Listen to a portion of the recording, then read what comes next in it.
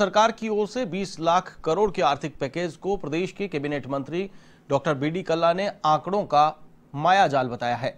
कल्ला ने कहा कि केंद्र ने सिर्फ़ ऋण देने का प्रावधान किया है। आमजन को कोई राहत नहीं मिली। उन्होंने कहा कि केंद्र सरकार को बिजली के बिलों का स्थायी शुल्क माफ़ करना चाहिए।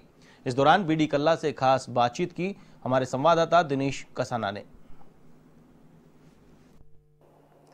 कोरोना वैश्विक महामारी के चलते देश में जो स्थितियाँ पैदा हुई हैं, आर्थिक गतिविधियाँ थमसी गई हैं। ऐसे में प्रधानमंत्री मोदी ने आत्मनिर्भर भारत बनाने का एक विजन हाथ में लिया है। इसके लिए 20 लाख करोड़ के पैकेज की घोषणा की है। इसके लिए केंद्र सरकार की ओर से सभी सेक्टर्स के लिए अलग अलग प्रावधान किए गए हैं। हमारे साथ हैं ऊर्जा मंत्री बी डी कल्ला जी। कल्ला साहब, जिस तरह का एक विजन प्रधानमंत्री मोदी ने हाथ में लिया, आत्मनिर्भर भारत बने और उसके लिए बीस लाख करोड़ का पैकेज दिया, किस रूप में देखते हैं देखिए, बीस लाख करोड़ का जो पैकेज दिया है, उसमें ज़्यादातर योजनाएँ केवल ऋण देने की हैं।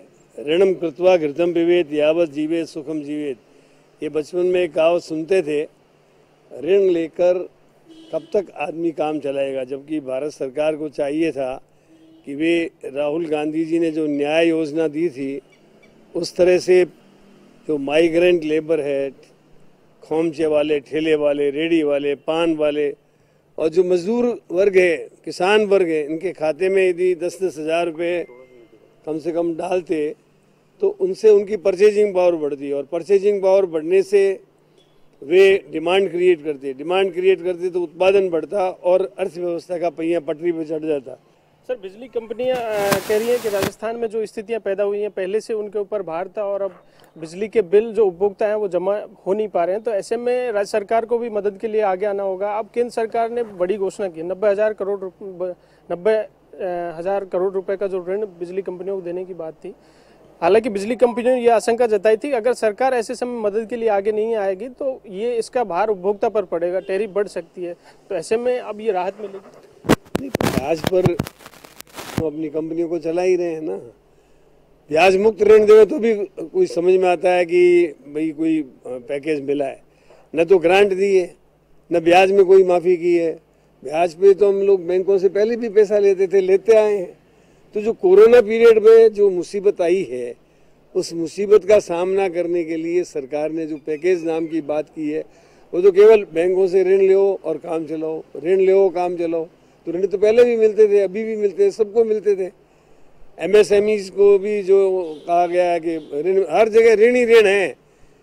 और कुल मिलाकर पैकेज का नाम है बीस लाख करोड़ का लेकिन सारी जगह बैंकों से ऋण लो और बैंकों को भी इतना पैसा कहाँ से आएगा? लेकिन सर कुछ सेक्टर ऐसे हैं जिनको मजबूती के लिए जो फंड दिया गया है कृषि सेक्टर में ऐसे है पशुपालन के लिए दिया गया है मत्स्य पालन के लिए दिया है कि इन सेक्टर्स में इनको मजबूती दी जाएगी। सब ऋण है। ग्रांट नहीं है ये। सब लोग मछली पालन के लिए मधुमक्खी पालन के लिए पशु पालन के लिए सब जगह ऋण मिलता था। आज कोई किसान गाय या भैंस खरीदता है तो उसको उसको ऋण मिल जाता है। पशुपालन के लिए पंद्रह हज़ार करोड़ रुपया दिया है मधुमक्खी पालन के लिए पाँच पाँच हज़ार करोड़ रुपया दिया है। लोन खाद्यान्न को कलेक्शन के लिए कोल्ड स्टोरेज बनाने की बात कही है ऐसे किसानों की जो फ़सल है उनको रख सकेंगे सुरक्षित रहेगी उनको अपनी फ़सल का सही दाम ग्रांट देने के नाम पर मैं समझता हूँ कि सरकार ने नगण्य किया है, केवल लोन लेकर के अपनी स्थिति को बनाए रखो। तो ये मैं समझता हूँ ठीक नहीं है। इसमें होना ये चाहिए था कि जैसे इन्होंने कहा, उद्योग बंद रखो और उनके कर्मचारियों को तनख्वाह दो। तो इस लॉकडाउन पीरियड की तनख्वाह भारत सरकार को देनी चाहिए थी। इसी तरीके से बिजली में मतलब जो स्थायी शुल्क है, उसको या तो वो माफ़ करते भारत सरकार। तरफ़ से ताकि जनरेटर्स को हमको भी नहीं देना पड़ता और हम वसूल नहीं करते। अथवा उसको रिम्बर्स करते। मजदूर आज आप देखिए माइग्रेंट लेबर कितनी परेशान है। पैदल ही चल रही है। तो ऐसे लोगों के लिए उनके खातों में पैसे डालने चाहिए। तब जाकर के ये लगता कि कोई पैकेज दिया ये तो ऋण का पैकेज है एक तरह से। आप सर बिजली मंत्री हैं, राजस्थान में सरकार ने दो महीने का बिल डेफर किए हैं। कई आपके जो विधायक हैं, उन्होंने सीएम में ये मांग रखी कि उनको डेफर की जगह माफ़ किया जाए ताकि किसानों को राहत मिल सके। देखिए, जो शुरू शुरू में तो लॉकडाउन और कर्फ्यू के कारण ये मांग की जा रही थी कि हम बिल कैसे भरें तो हमने इसको डेफर कर दिया। अब आप जानते हैं ये वैश्विक महामारी है और उसका असर भारत पर भी बड़ा है, प्रदेश पर भी बड़ा है। तो भारत सरकार को चाहिए कि वो स्थायी शुल्क जो है, वो माफ़ करने के बारे में विचार करे और इस संबंध में, जैसा मैंने आपको बताया कि अध्यादेश लाकर हमको भी कह दे कि भाई कंपनियों को, हमारी डिस्ट्रीब्यूशन कंपनियों को स्थायी शुल्क देना नहीं पड़ेगा तो हम भी वसूल नहीं करेंगे। ये महामारी चल रही है, सर आगे गर्मी का सीज़न अभी चल रहा है तो मुख्यमंत्री ने वीसी ली और तमाम फीडबैक ली है। पेयजल की जो समस्या है, प्रदेश भर में हर साल कंटेंजेंसी प्लान बनाया जाता है।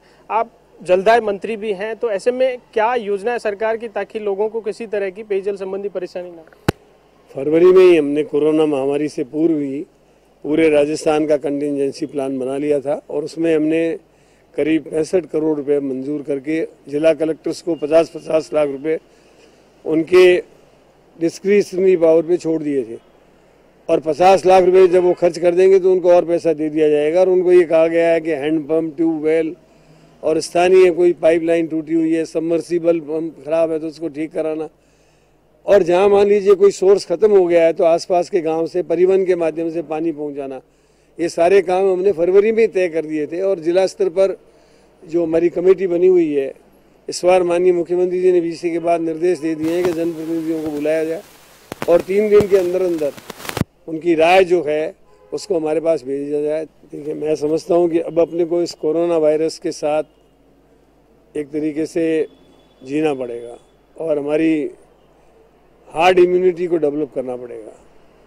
यदि हम केवल मात्र घर में बैठे रहे तो हमारा देश और हमारी इकोनॉमी बिल्कुल ही रसातल में चली जाएगी सवाल ये कि आपने जिस तरह कहा इकोनॉमिक गतिविधियाँ चालू करनी पड़ेंगी, चालू करी भी है सरकार ने, लेकिन सरकार जो श्रमिक वर्ग हैं, जो मजदूर हैं, उनको घर भेजने का कार्य कर रही है। तो ऐसे में आपको लगता नहीं है कि माइग्रेंट अगर घर चले जाएँगे तो ये इकोनॉमिक गतिविधियाँ कैसे शुरू होंगी फैक्ट्रियों के काम कैसे शुरू होंगे श्रमिकों के ठीक है, जब इकोनॉमिक एक्टिविटी शुरू हो जाएगी तो ये आना जाना बंद हो जाएगा। चूँकि इकोनॉमिक एक्टिविटीज़ बंद है, इसी कारण से लेबर जो है अपने जगह जाना जाती है।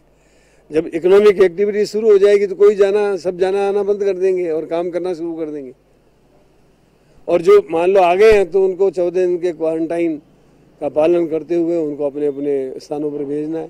लोगों को कोरोना के साथ जीने की आदत डालनी होगी और इसी तरह से लॉकडाउन फोर के नियम तय किए जाएँगे, जिसके लिए केंद्र सरकार को चाहिए कि राज्य सरकारों के साथ समन्वय स्थापित कर, राज्य सरकारों से चर्चा के बाद ही लॉकडाउन फोर के नियम तय किए जाएँ। वीडियो जर्नलिस्ट विजय मिश्रा के साथ Dinesh Kasana A one TV Jaipur.